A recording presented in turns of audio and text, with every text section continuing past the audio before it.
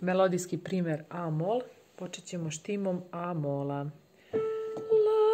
La, mi, do, la, mi, sol, si, la. Prva, druga, treća, la, do, mi, fa, re, do, si, do, mi, sol, la, re, la, sol, fa, mi fa re sol mi do la si re re mi.